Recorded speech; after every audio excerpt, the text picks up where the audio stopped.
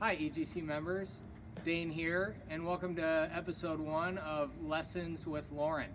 This series is going to include some instructional tips and also some fun games that you can play at home with your kids on your at-home tennis court. Today's focus is going to be the forehand and the backhand ground stroke. So I realize most kids playing at EGC are at the beginner, intermediate type level. So we're gonna keep this very simple and we're gonna keep it to three main points on the ground stroke that should result in a kid being able to hit the ball over the net consistently, okay? Number one, obviously, they always wanna be in ready position, okay? I stay on the kids about that all the time, all right? Then, once that ball is hit to them, Number one is turning sideways and preparing your racket, okay? That's number one. That's the forehand side and the backhand side, okay? Number two is making contact out in front, okay?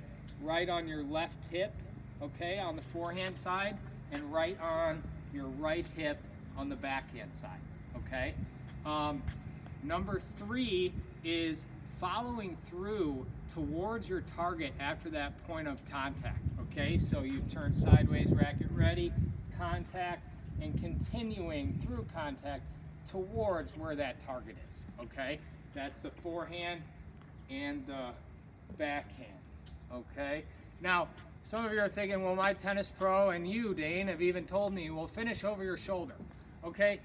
We'll call that number four, but remember, we're talking about the kids here, and we're just trying to get them to get it over the net. So yes, you could finish over here, but at the same time, after contact, my racket is still going towards that target. That's the most important thing, okay?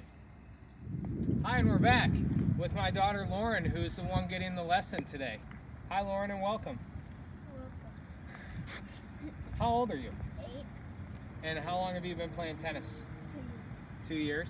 Camera's over there. Um, and why do you like playing tennis? Because I like playing with my friends and I like to run. Okay, all right, those are two very good reasons. Um, all right, what we're gonna do today is I'm gonna feed Lauren some forehands and backhands. Lauren, rack it up.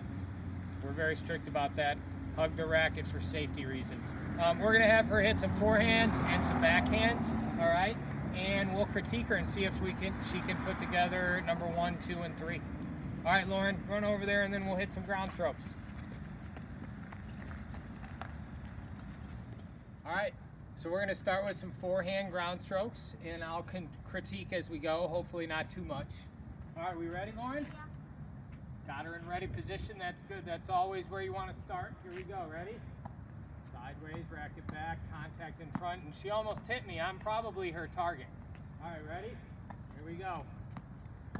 All three right there, really good. Ready?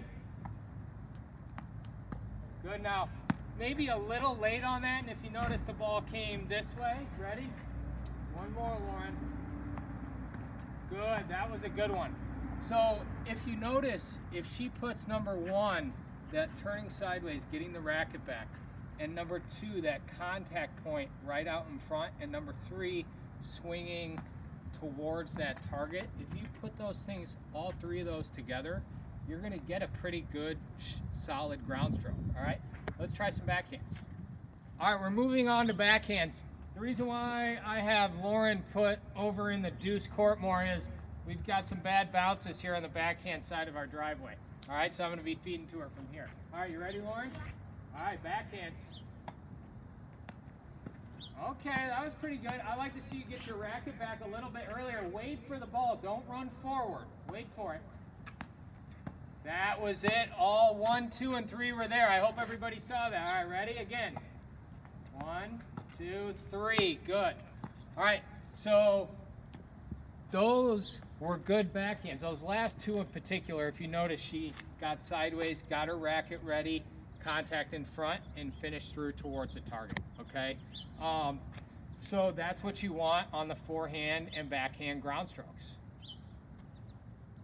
Okay, thanks for joining us for episode one of Lessons with Lauren. Hopefully those three little basic tips will help the kids on the driveway be able to start hitting the ball back and forth with you consistently. And I hope that all of you have fun playing tennis at home with your families. Thanks for helping us out today, Lauren. You're welcome. Are you going to help us again? Yeah. Okay, well, that means we will be back with episode two soon.